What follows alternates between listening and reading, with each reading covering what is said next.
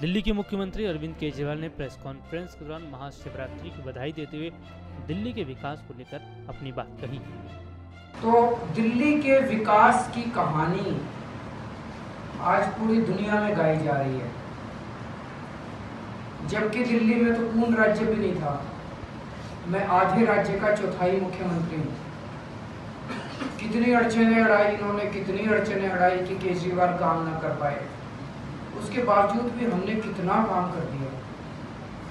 खास तौर से शिक्षा, स्वास्थ्य, बिजली, पानी। इन चार क्षेत्रों में तो इतना काम हुआ है कि पूरे देश के अंदर उसकी चर्चा हो रही है।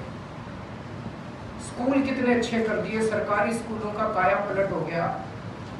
प्राइवेट स्कूलों से फ़ीस वापस करवाई है, फ़ीस बढ़ने नहीं दी, लेकिन फिर भी कुछ प्राइवेट स्कूल थे जिन्होंने सरकारी आदेश का उल्लंघन करके फ़ीस बढ़ाई। उनसे फ़ीस वापस करवाई है बच्चों के पेरेंट्स के अकाउंट में। भारत के इतिहास में पहली बार हुआ होगा कि प्राइवेट स्कूलों ने फ़ीस वापस करी है मोहल्ला क्लिनिक बन रहे हैं दिल्ली में। अस्पतालों में दवाइयाँ मुफ़्त हो गई। कई कई लाख रुपए के ऑपरेशन फ्री में होते हैं आपको बता दें, दिल्ली में अपनी छवि बेहतर बनाने के लिए अरविंद केजरीवाल ने इस तरह का बयान दिया। एस न्यूज़ रूम से राहुल की रिपोर्ट।